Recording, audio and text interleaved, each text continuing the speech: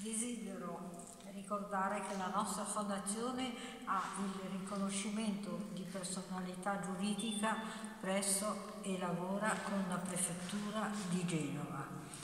Il prefetto è una dottoressa Carmen Perotta. Il mio saluto va a tutti i presenti e il mio ringraziamento al sindaco, dottor Marco Bucci, per aver offerto questo meraviglioso salone.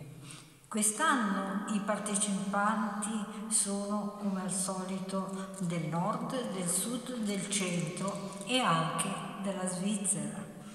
La maggior parte studia filosofia, ma abbiamo anche eh, altri di storia, di medicina, di, di giurisprudenza anche.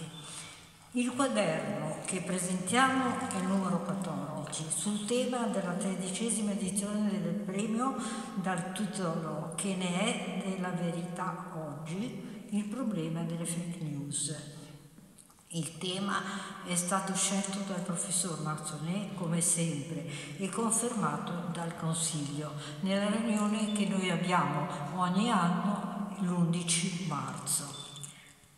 La commissione giudicatrice del premio di oggi è composta da grandi personaggi come sempre, dalla dottoressa Sara Tagliente, direttore news di Telegenova, che qui ringrazio anche per far fare una ripresa televisiva oggi e poi riproporla in televisione su Telegenova e dalla dottoressa Francesca Forleo, nota giornalista del secolo XIX, che ringrazio anche lei per averci fatto eh, un articolo sul secolo giovedì scorso.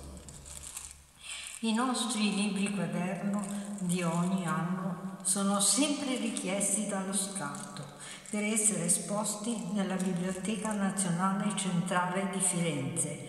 Io ringrazio tutti e passo la parola al professor Marsonet che annuncerà anche il titolo del nuovo tema per la prossima edizione del premio professor Paolo Michele Erede la persona che non dimenticheremo mai. Grazie.